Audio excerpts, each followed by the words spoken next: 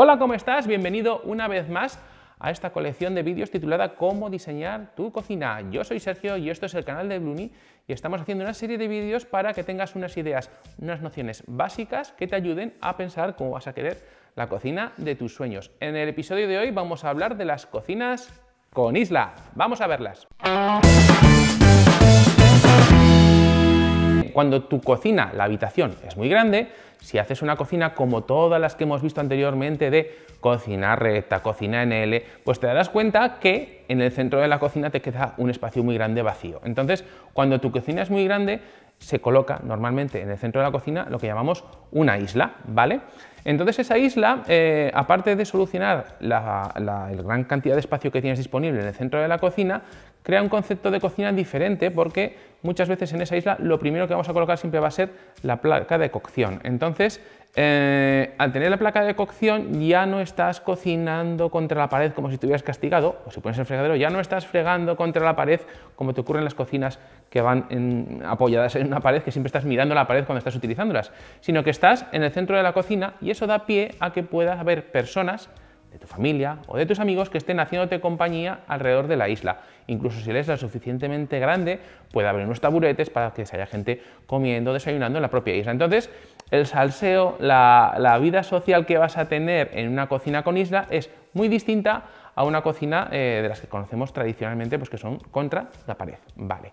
Dicho esto, eh, esa es la razón fundamental porque a veces, aunque la cocina no sea lo suficientemente grande para tener una isla, hagamos todo lo posible por tener una isla por muy pequeñita que sea. Entonces, lo más importante que hay que tener en cuenta a la hora de meter una isla en tu cocina son los pasos, es decir, las distancias que tiene que haber alrededor de la isla. Entonces, una distancia que es adecuada es una distancia de unos 90 o 100 centímetros. Eso sería lo ideal. Claro, cuanto más grande quieres hacer la isla, más distancia te vas a comer.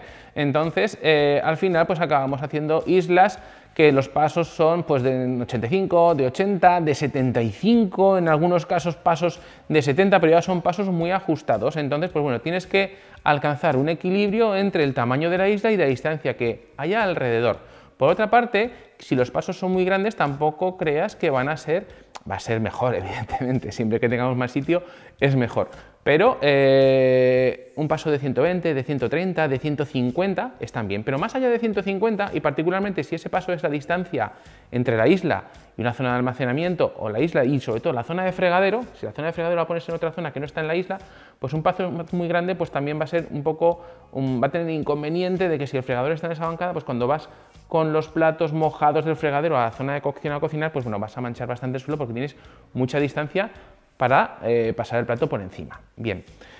Truco importante, yo no soy muy de decir trucos en el canal, pero ahora sí vamos a decir un truco importante. Un truco importante que tienes a la hora de jugar con los pasos es renunciar un poco a la estética, ya dijimos en los primeros vídeos que eh, en la cocina lo que es capacidad de almacenamiento, superficie de trabajo y diseño a veces se pelean entre ellos. Entonces, seguramente que la isla esté centrada en una de las paredes o con la bancada, pues siempre estéticamente va a ser ventajoso. Pero a veces, para poder ganar esos pasos, eh, pues vamos a desplazar la isla de posición. Es decir, cuando tú te plantees el diseño de tu cocina, te darás cuenta que de normal vas a entrar a la cocina por una serie de sitios y habrá otros sitios que no usarás tanto. Es decir, de todos los pasos que hay en la isla, hay unos que sean muy importantes porque por el diseño de tu cocina te darás cuenta que ahí vas a estar siempre y siempre vas a pasar por allí. Mientras que hay otros pasos que a lo mejor es la distancia que hay entre la isla y la puerta de la galería o la puerta de la terraza. Pues para cada vez que utilices esa puerta de esa terraza vas a utilizar muchas veces más la puerta de acceso a la cocina. Entonces un buen truco consiste en sacrificar mucho ese espacio, ese paso que está en la zona que usas poco para dárselo al paso de la zona que utilizas mucho. Entonces puedes llegar a forzar un paso de 65 o de 60 centímetros, que esto ya te recomiendo directamente que te lo plantees en casa con cartones, porque es un paso muy, muy, muy, muy pequeño, pero alguna vez se hace y de esa manera, a consta de tener un paso muy estrecho en un lado, tenemos un paso muy generoso en el sitio donde lo vamos a utilizar habitualmente. Bien, ¿qué más hay que saber de las islas? Pues que las islas pueden ser islas desiertas, donde no hay nada, lo más habitual que es una isla donde hay una placa de cocción, o puede haber también una placa de cocción y un fregadero. La isla desierta yo no soy muy partidario de ella, a veces las hacemos. Entonces, pues bueno, es una isla donde no hay ni placa de fregadero, toda la cocina no deja de ser una cocina recta, como ya vimos en aquellos vídeos, o una cocina en L, y la isla simplemente es, eh, te proporciona una capacidad de almacenamiento y además te proporciona una zona de trabajo extra. Entonces tú de normal vas a trabajar en la bancada principal, pero en ocasiones cuando esa bancada principal está completamente utilizada, pues te apoyas en la isla para seguir trabajando. También la mayoría de las veces que hacemos esto es porque em, el cliente desea que esa isla no sea no tenga ni placa ni tenga fregadero porque va a ser una zona de estar en la propia cocina. Es decir, pues tengo unos niños y me apetece estar los niños haciendo deberes en la cocina y yo estoy cocinando. Y entonces tienen su zona que es esa isla donde pueden estar haciendo los deberes. O, por ejemplo, mi pareja está cocinando y yo estoy en la cocina con el ordenador, pues trabajando, pues perfectamente.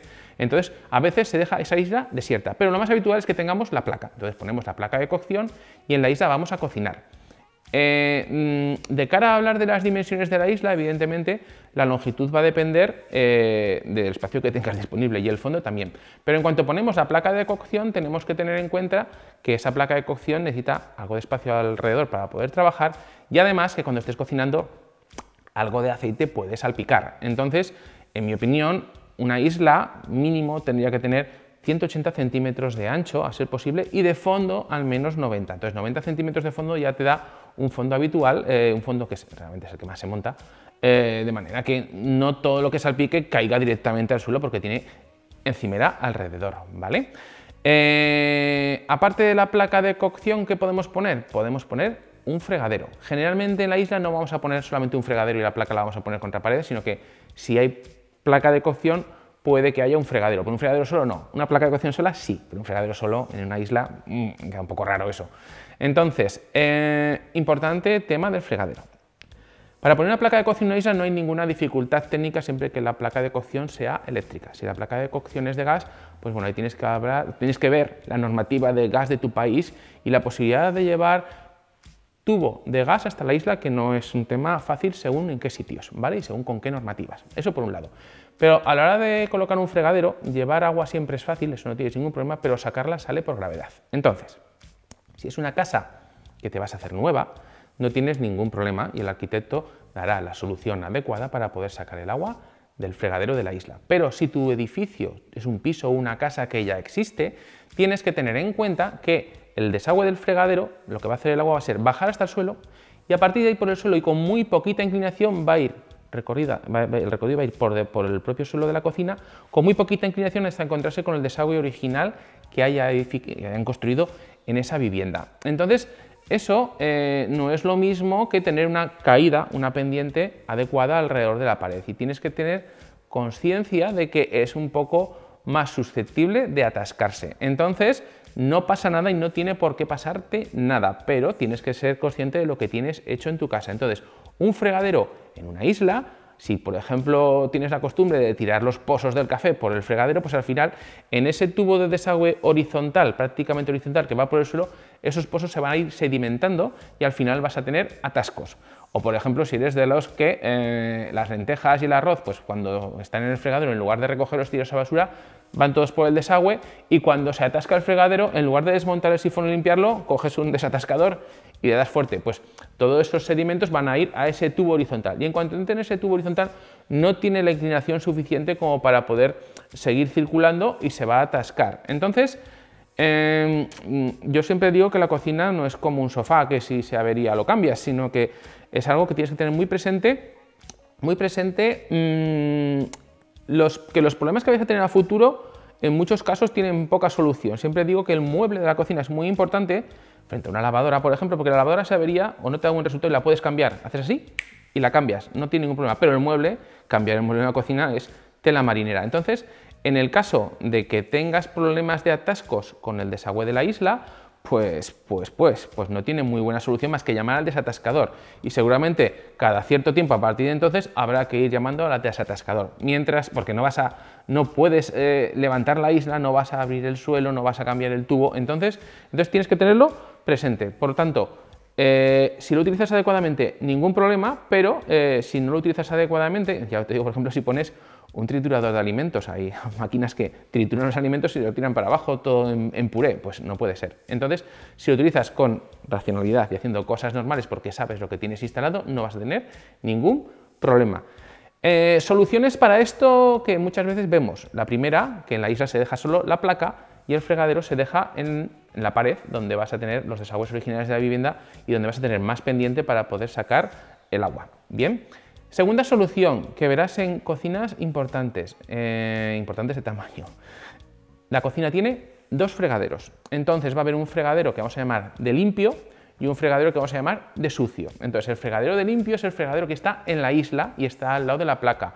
Muchas veces este fregadero es mucho más pequeño que el otro, otras veces si tenemos sitio va a ser el mismo tamaño y generalmente vamos a poner siempre el mismo modelo de fregadero y el mismo modelo de grifo en ambos dos. Entonces este fregadero de limpio se utiliza para preparar los alimentos y no tiene lavavajillas al lado. Mientras que el fregadero que está en la pared es el fregadero de sucio, que es donde vas a aclarar los platos y lavavajillas antes de meterlos al, al propio lavavajillas. Es un fregadero de sucio, entonces un fregadero va a tener más residuos que el fregadero de limpio y ese sí que está contra la pared, mientras que el de la isla al ponerlo en la isla tienes la ventaja de que cuando preparas los alimentos, que también evidentemente decimos de limpio entre comillas porque también, también es un fregadero sucio como todos, pero cuando preparas los alimentos los puedes pasar a la zona de cocción sin tener que andar chorreando eh, y manchando el suelo, sino que solamente manchas la encimera. Entonces, pues bueno, que es otra solución que puedes tener. Bien, para acabar, ¿de qué vamos a hablar ahora? Vamos a hablar de algo muy importante que es la extracción de humos en las islas. Entonces, si tenemos la placa de cocción en la isla, hay que sacar el humo de la cocina. Bien, entonces básicamente existen tres sistemas, tres formas de sacar el humo de una isla. El primero, el más antiguo, el de siempre, es una campana de las mal llamadas decorativas, porque decorativas en general, hay alguna excepción, pero en general tienen muy poco, ¿vale? Entonces, esta campana es una solución que siempre ha existido, que la tienes a la vista, que puedes limpiar los filtros fácilmente, y que son económicas porque, eh, o por lo menos más económicas que el resto de sistemas de extracción, porque el humo por su natural va hacia arriba y esta campana está colocada encima de la placa. Entonces, eh, simplemente ese humo que ya le llega directamente, aunque estuviera apagada, lo extrae y lo saca fuera de la cocina. Esas por un lado.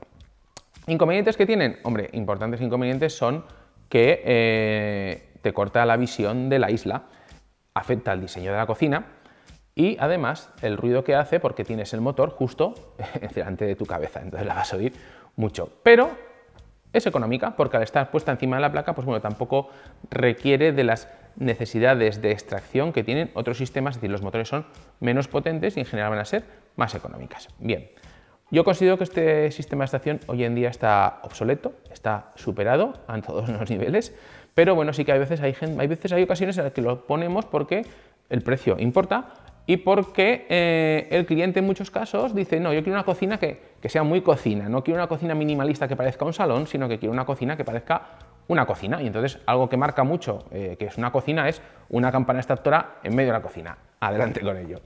Bien, los siguientes sistemas de extracción, el que más se ha montado en, sí, en los últimos años, ha sido las campanas de techo. Entonces estas campanas de techo, generalmente en España vamos a poner las campanas que van con extracción al exterior y el motor está en el falso techo. Bien, lo primero que tienes que tener claro es que necesitas una distancia, un tamaño desde el falso techo hasta el forjado. El forjado es el techo de verdad de hormigón. Entonces, en tu cocina el techo en general va a estar bajado para pasar instalaciones, etcétera, etcétera, pero claro, necesitamos mínimo 20 centímetros. Entonces, por ejemplo, si el forjado va a estar mm, a 2,40, por ejemplo, si le quitas 20 centímetros mínimo minimísimo, porque con 20 centímetros es la campana de techo más pequeña, pues te queda 220, 220 el techo está muy bajo, entonces eso es una dificultad que tenemos a veces.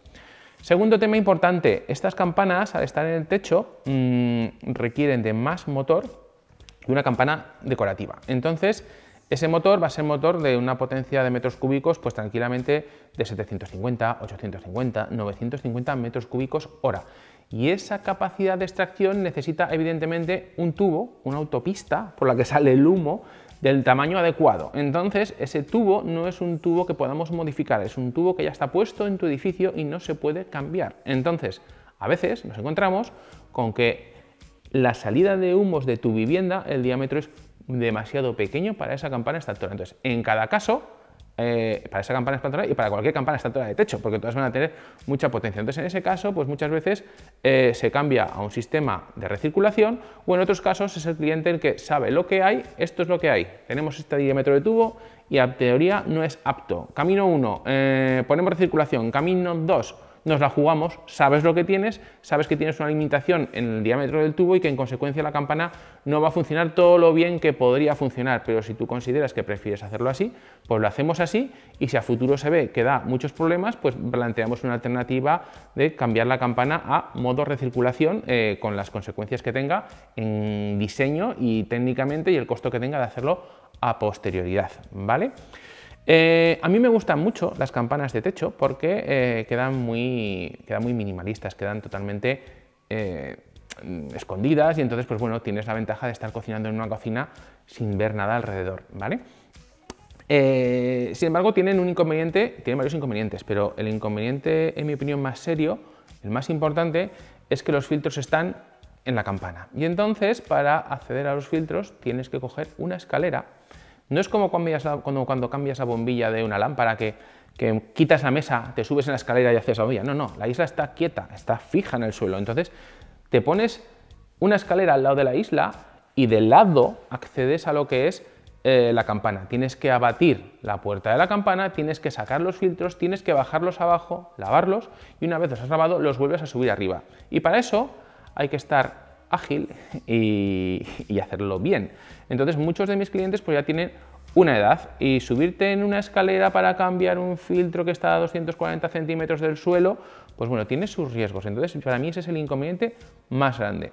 Otro inconveniente importante, en mi opinión, es que hay algunas de ellas que van conectadas con la propia placa. Y entonces puedes manejar eh, la campana desde la propia placa, pero la mayoría van a ir con mando a distancia. Entonces, el segundo inconveniente importante para mí es el manejo con mando a distancia. Entonces, el mando a distancia es un elemento que va a estar danzando por la cocina, va a estar siempre encima de la encimera, va a ser un poco engorroso y sobre todo en general experiencia, eh, visto lo visto, muchos clientes acaban envolviéndolo en film transparente. Entonces te haces una cocina muy fashion, con mucho diseño y luego tienes encima de la encimera un mando a distancia con film transparente como si fuera un bocadillo. Entonces, pues bueno, es un tema que siempre que puedo evitarlo y siempre que podemos colocar una campana de las que se comunica directamente con la placa y no necesitas mando a distancia para manejarlo, vamos a ello. Bien, el tercer sistema, ese sistema es el que más estamos montando actualmente. Entonces, ese sistema es la placa extractora. Entonces, la placa extractora es una placa que está colocada en la isla y que lleva el sistema de extracción integrado en sí misma. Entonces, es un producto muy importante porque de él depende que funcione bien la extracción de humos. Entonces, yo no iría a una placa extractora muy barata, sino una placa extractora que me dé la confianza y que tenga la reputación de que funciona estupendamente bien, porque no es un tema, así como la campana decorativa es un tema de metros cúbicos y la campana de techo muchas veces también es un tema de metros cúbicos, el tema de las campanas, de las placas extractoras en superficie que absorben uno hacia abajo, es un tema de velocidad de circulación de aire. No se trata de que mm, eh, extraiga 500, 800 o 1000 metros cúbicos hora, sino que eh, realmente es un tema de diseño de manera que sea capaz efectivamente de captar todo el humo que sale y lo pueda gestionar. Bien, entonces, estas placas extractoras para poder colocarlas con extracción al exterior nos va a pasar un poco lo mismo que con los fregaderos. si con el fregadero ya tenemos el tema del desagüe pequeñito por el suelo, con la, placa extractora que el diámetro del tubo mínimo va a ser de 15 centímetros, pues evidentemente si tu edificio ya está hecho, tienes que ver si es viable, si es posible, si ya está hecho, es muy difícil que eso sea así, eh, que puedas sacar un tubo de 15 centímetros de diámetro por el suelo o puedas atravesar la solera de hormigón y sacarlo de nuevo por el suelo. Eso se podría hacer, es posible en algunas ocasiones, pero depende ya un poco de tu situación particular. Eso por un lado. Entonces, generalmente estas placas extractoras se van a montar con filtro de carbón activo. Entonces, el aire es absorbido por la placa extractora, pasa por un filtro de carbón activo y lo devuelve a la sala. Ya hicimos en, este canal varios vídeos sobre eh, placas extractoras, entonces os dejo aquí, os dejo aquí a continuación eh, un par de vídeos, aquí, ¿vale? Entonces os dejo uno, por ejemplo, de cuando fuimos a visitar Goodman, que es una de las marcas de campanas extractoras más prestigiosas que hay en el mercado, y otro de cuando fuimos a ver Bora, que Bora, mm, Bora es una marca de extracción específica de placas extractoras, solo tiene sistemas de extracción en superficie que extraen hacia abajo. Entonces, si quieres eh, más información y ver ejemplos de cómo funcionan estos, estos sistemas de extracción, te dejo que estos dos vídeos para que puedas pinchar en ellos y puedas verlos tranquilamente. ¿vale? Dicho esto, ¿cuáles son las ventajas de las placas extractoras? La gran ventaja que tienen es, primero, que llegas y recoges el filtro de abajo, no del techo. Lo puedes meter al lavavajillas y lo vuelves a colocar, con lo cual la limpieza del filtro es muy sencilla. Además, si el modelo extrae adecuadamente los humos, es el sistema de extracción que menos mancha porque el humo va directamente hacia abajo. Es que ni siquiera hueles la comida porque se lo lleva todo. Sin embargo, la campana decorativa, desde que sale el humo de la placa hasta que llega la campana, tiene un espacio por el que se puede escapar. Y la campana de techo, muchísimo más, desde la placa hasta el techo, hasta que llega allí si hay una corriente de aire porque hay una ventana abierta, porque pasa una persona deprisa alrededor de la isla, porque está el chorro de aire acondicionado dando directamente sobre la columna de humo que sube de la placa. Pues ese humo y esa suciedad se va a esparcir por la cocina, mientras que en los sistemas de placa extractora, los sistemas de extracción en superficie siempre va a ser absorbido hacia abajo. Y finalmente tenemos una ventaja muy importante que es el diseño de la cocina, porque esas placas extractoras que extraen el humo hacia abajo, las que lo extraen muy bien, te permiten poner encima de la isla cualquier tipo de lámpara suspendida o iluminación para iluminar tu isla y aportar un valor decorativo añadido a la cocina, porque como el humo sale hacia abajo, siempre que enciendas la extracción, evidentemente, pues ya no tienes el problema del humo y puedes poner una lámpara suspendida y, te quedan cocinas pues tan chulas como pueden ser estas. Bien, espero haberte ayudado eh, a diseñar tu cocina con isla. Si te ha gustado el vídeo, acuérdate de darle like y si no tienes los metros necesarios para hacer una cocina con isla, quédate con nosotros porque en el siguiente vídeo vamos a ver una de mis cocinas favoritas, seguramente el tipo de cocina que más monto cuando la cocina tiene más de 15 metros cuadrados, que es la cocina con península. La cocina con península es una isla donde uno de los lados va pegado a la pared y eso tiene unas ventajas muy importantes. Vamos a verlas en el próximo vídeo, te dejo el logotipo del canal y a continuación, cocinas con península. Nos vemos en el próximo vídeo. Chao, chao.